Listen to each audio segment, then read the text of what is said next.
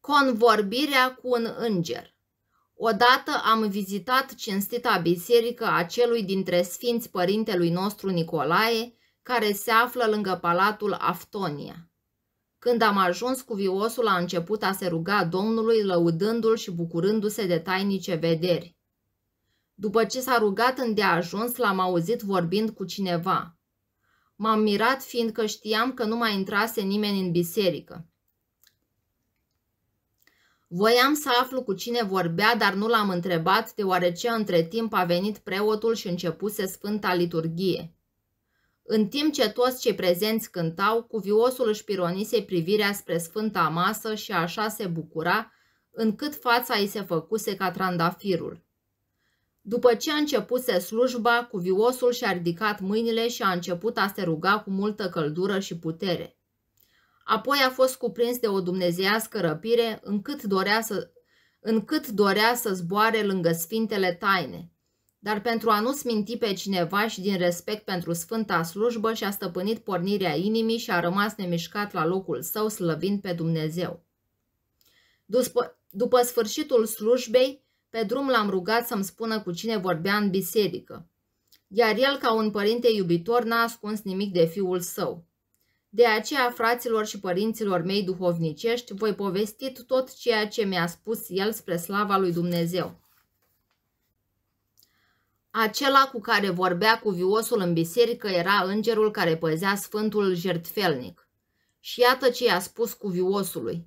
De mult doream să te văd pe cuvioșia ta și mă rugam lui Dumnezeu să, fiu, să vii odată aici, să te rogi și cu acest prilej să te cunosc și să mă bucur cu plăcere de rugăciunea ta.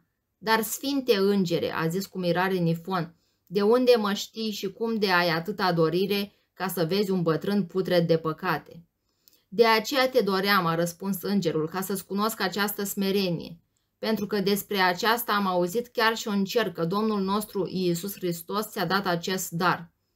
Dar cum ai auzit tu aceasta? Este cu putință să se vorbească în cer despre un lepădat ca mine?" Îți spun numai adevărul, iubite al lui Dumnezeu. Viclenie nu se află în gura mea. Precum vezi, slujesc acest, precum vezi, slujesc acest jertfelnic. Când plec la altarul ceresc ca să duc lui Dumnezeu rugăciunile creștinilor, ajung la urechile mele ceea ce îngerii lui Dumnezeu spun despre tine.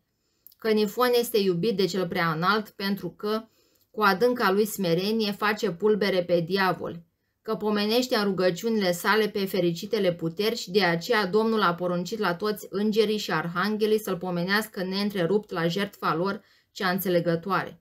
Acestea le-am auzit despre tine în cer și de aceea aveam mare dorință să te cunosc. Iată deci ce am auzit despre tine de la Domnul.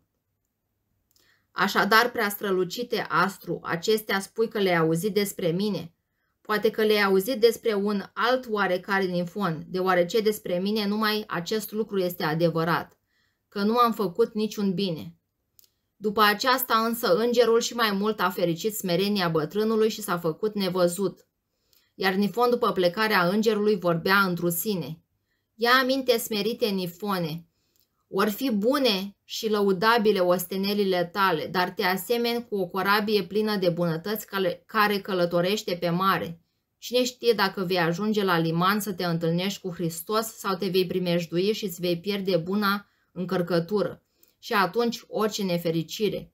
Te asemeni și cu un ogor gata de seceriș, dar cine știe dacă vei ajunge la seceriș sau dacă păsările sălbatice nu vor mânca spicele, iar paile le va arde focul. Acestea le vorbea în sine fericitul și s-a așezat în strană. Amin. În numele Tatălui și al Fiului și al Sfântului Duh. Amin.